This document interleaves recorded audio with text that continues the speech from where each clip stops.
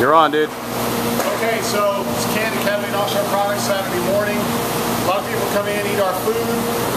They're real curious about this little bottle right here. This is a soy ginger glaze that we use on some things. About 150 people have asked how to make it, so we're going to show you. These are the ingredients right here, excluding that pesto. This important.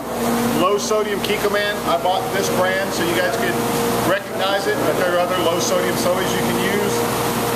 Check this cup out. This is a cup of sugar. If you'll notice, it's about two-thirds light brown sugar, or rather one-third light brown sugar and two-thirds white sugar. You can adjust that like you want, but this is traditional. We got a little mirin right here. We're to add ginger at the end. So what we got, we got a pot, we got a low flame. This is important. You don't want this.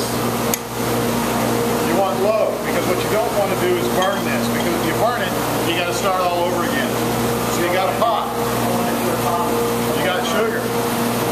Goes in the pot. That's one cup. And one cup of soy. Take out your handy Spyderco. Open it up. There you go. This measurement really isn't that critical. And a little bit more, like that. But that's a place to start. You're all going to adjust it to your own taste. Be something to start with.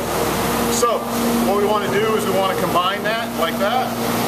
See how quick it starts to steam?